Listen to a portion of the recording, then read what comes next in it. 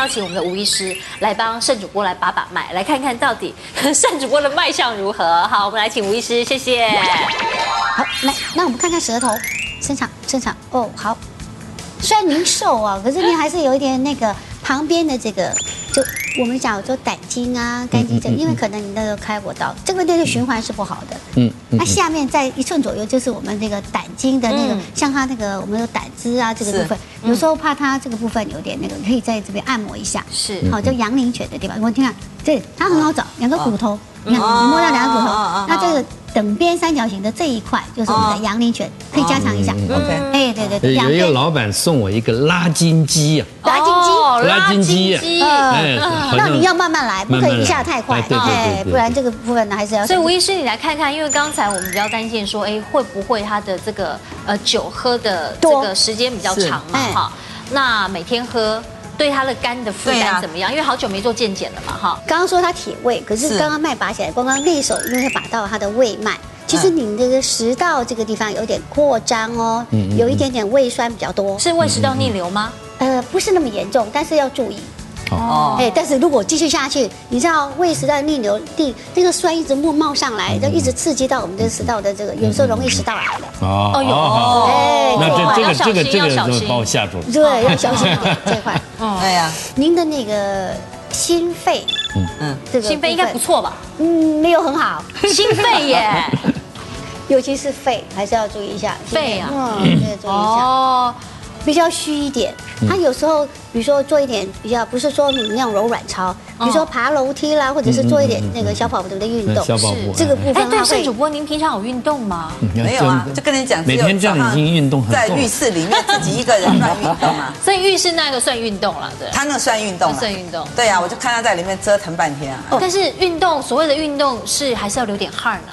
有点流点汗，在室内会流汗。他很会流汗哦。哦。他像常常睡觉一下起来，哇，流身汗，所以他睡觉旁边都会摆一个毛巾。你看吧，那么冷，我们都不会出汗，你还会出汗。是比较。刚刚那个不叫做流汗，嗯，那个是运动后的流汗才叫就流汗，因为心脏那个。那你说早上起来会流汗的那个叫我刚刚说的阴虚火旺，所以你会发现他一早起来。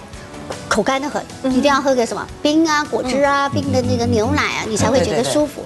所以您刚刚有胃热，刚刚提到这个哈，就是胃酸会上来。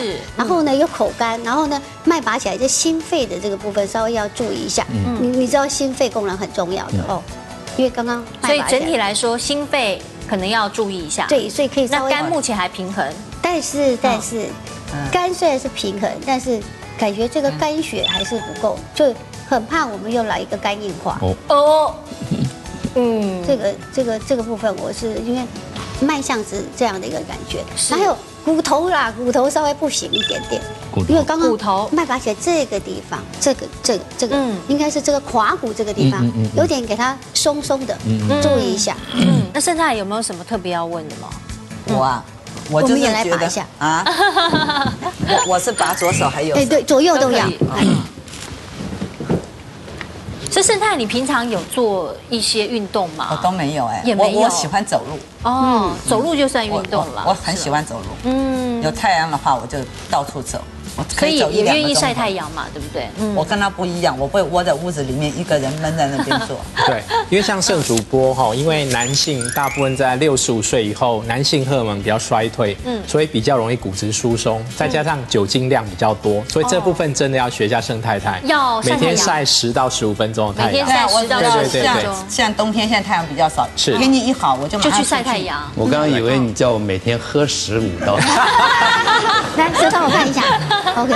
而且刚刚吴医师说盛主播肺不好，盛主播有讲他常会干咳，哦，所以还真的需要运动一下，干咳比较敏感。人呐，能活到这个年龄，而且这么愉快，身体这么好，我觉得已经很够了，根本什么都不怕了。愉快了，那是因为您有一个好太太，因为您太太这个曾太太的这个脉拔起来，她的这个头啊颈啊这边的血管很紧吗？很紧，哦。特别紧，那还有就是肝火也比较旺。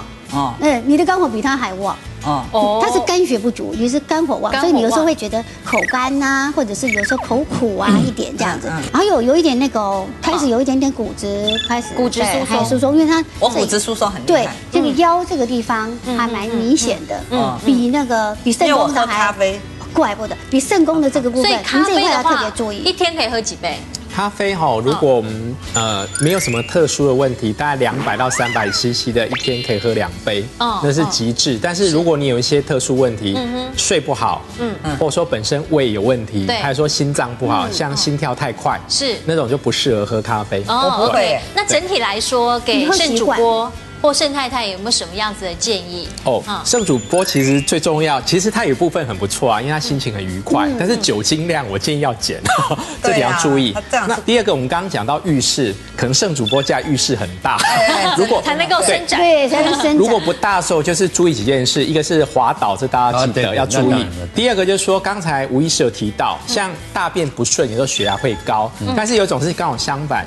男性有时候刚去尿完尿，那时候血压突然会变低，那个都要小心。等是觉得自己说哎，并不会有什么头晕现象，再开始来做。好，那谢谢吴医师，多谢多谢，谢谢谢谢。那吴医师，你再请坐一下，我们继续要进入我们的健康问诊室哈。这个健康问诊室的这一个五十六岁来自于罗东的许清兵先生哦，他的问题是，嗯，他每天呢没事会贪杯喝几杯哈。他说：“老婆拿他也没办法哈，但他的小孩子担心他喝酒会出问题，拿了一篇这个网络文章给他看，他想请教一下专家到底对不对哦。他说呢，这个文章里头写的，喝酒配柿子会昏倒，喝醉不能喝浓茶，好，喝酒配的小菜最好有韭菜、葱、蒜、豆干、猪肝，因为含有丰富的维他命 B 群。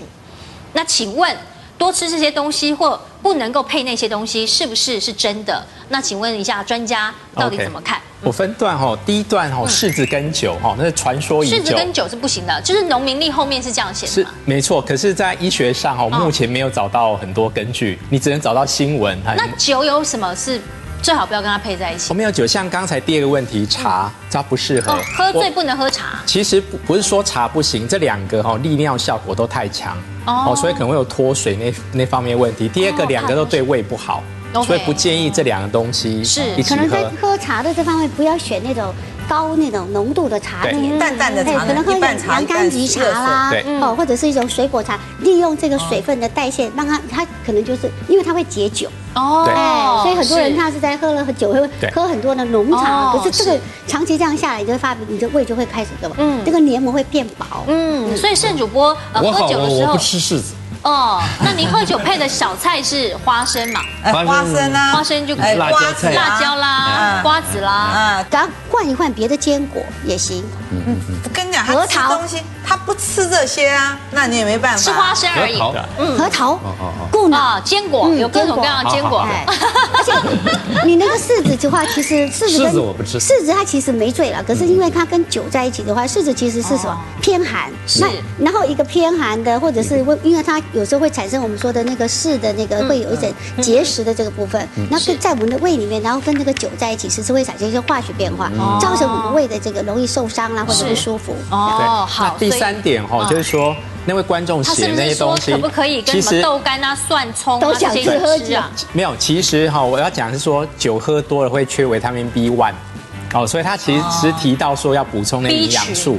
不见得要边喝酒边吃那个，而是你平常就要吃的食物里面 要含有维他命 B 维他命 B one。对对对。OK，好，那我们今天真的非常非常感谢盛主播还有盛太来到我们节目，那也让我们都比较了解了两位的一个生活作息，还有这个饮食习惯、健康状况。那当然也谢谢两位专家给今天的两位大来宾的意见。那我们希望这个盛主播、盛太太永远健康美丽，然后能够带给我们更多的欢乐跟这个正面的力量，好不好？谢谢两位。